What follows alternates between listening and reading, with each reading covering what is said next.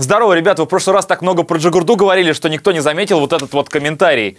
Блин, чувак, если у тебя маленький член, не надо его на нас наваливать. Не всем это нравится, вот мне точно это не нравится. Как можно навалить свой член на незнакомого человека без его разрешения? Ладно, если это хотя бы твоя девушка, на нее можно навалить. На нее можно пописать, если это нравится. Но не надо наваливать свой член на нас, пожалуйста.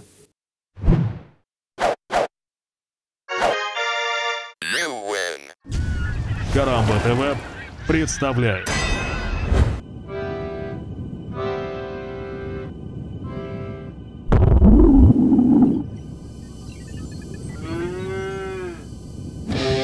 Если бы я был собакой, я бы по-любому себе каждый день бы яйца вылизывал и трахал бы сучек в парке. Я бы даже не обламывался, если бы член внутри них застревал. В общем, я был бы самым счастливым псом на свете. Но вот после просмотра следующего видео я нашел минусы собачьей жизни.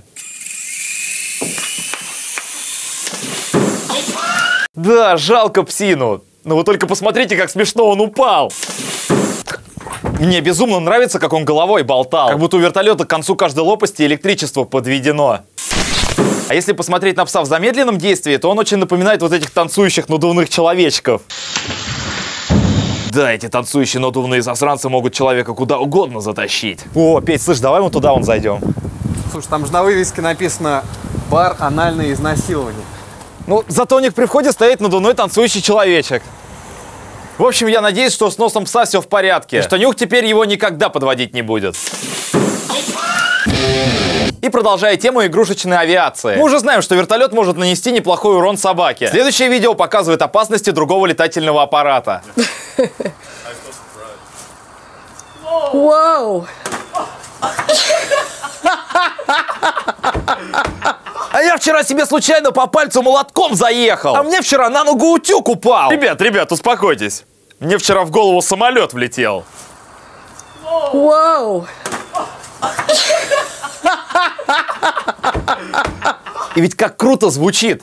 Особенно если никто не знает контекста ситуации. А представляете, если это был спланированный микротеракт? Вдруг внутри этого самолета среди микропассажиров были микротеррористы. А, никому не двигаться, самолет захвачен! Пилот направляет в сторону головы вон того чувака! Whoa! Но несмотря на все старания микротеррористов, выполнить свое задание им не удалось. Потому что мужик в итоге встал. Теперь, благодаря этому видео, я знаю, что самолет может обладать свойствами бумеранга. Но такое, мне кажется, бывает один раз на миллион попыток. Ну вот что такого может произойти, если я сейчас запущу вот этот самолетик? Блин, ребята, я, честно говоря, даже сам не знаю, как это произошло. Ну, по крайней мере, самолет был не таким большим и тяжелым. Whoa!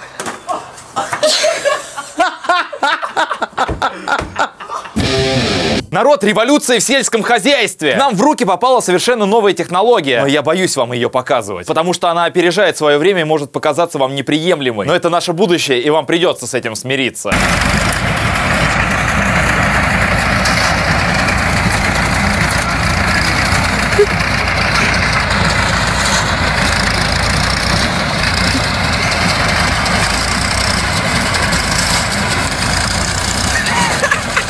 Да, ребят, я тоже шокирован происходящим. Я не думал, что прогресс сделает такой резкий гигантский скачок. Я готовился к летающим машинам, например. Но по сравнению с тем, что мы сейчас видели, парящие в воздухе автомобили кажутся детской шалостью. Вы только представьте, как до такого можно было додуматься.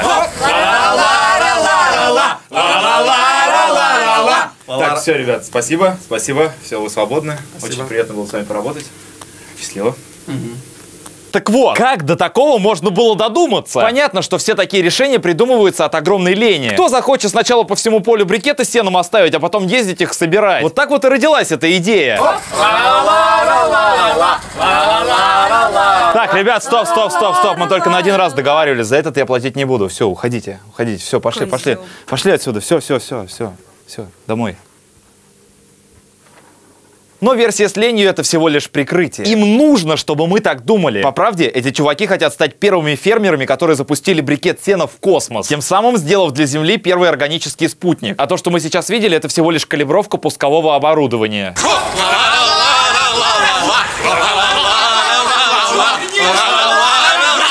Камеру, камеру отдайте. Совсем охуенно. Даже ничего объяснять не буду. Просто один вопрос. Что это за херня?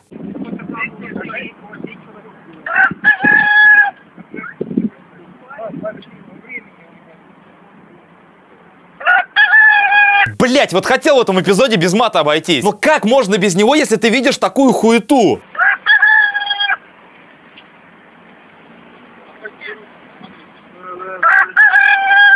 Ворона, которая кукарекает. Кукарекает! Да как такое произойти-то могло? Вот я знаю, что ворона можно научить разговаривать. А обычная ворона, видимо, настолько глупая, что обучается только кукареканью. Это все равно, что я бы сейчас начал женским го. Мужик, я мужик, все хорошо, у меня есть хер и яйца. Не знаю, может, этот ворон вообще шпион. А шпион должен в совершенстве знать язык противника. День 26. Петухи до сих пор ничего не подозревают. А вообще, я думаю, эта ворона просто съездила к бабушке. Вот и нахваталась петуховского жаргона. Вот мы с вами смеемся, а она нас сейчас опущенными назвала. Ребят, не забывайте заходить на сайт Карамбы, смотреть видео из эпизода. И еще там каждый четверг выходят эксклюзивные эпизоды плюс 100-500, так что заходите на Карамбу почаще, там до хрена всего крутого. Заебись. Кстати, палец вверх, подписывайтесь на новые видео, если хотите, чтобы я немножко подкоротил свою бороду и был меньше похож на террориста. Потому что Петя говорит, что я похож. А я не хочу быть похожим на террориста. Вот. Это был плюс 100-500. Меня зовут Максим. Запомните, ни в коем случае не вываливайте ни на кого свой член без их разрешения. Пока. В фильме Гай Фокс скрывается под маской и сваливает злобную теократию. И после этого Фокс неожиданно для всех стал символом борьбы школьников э, с церковью и государственной системой.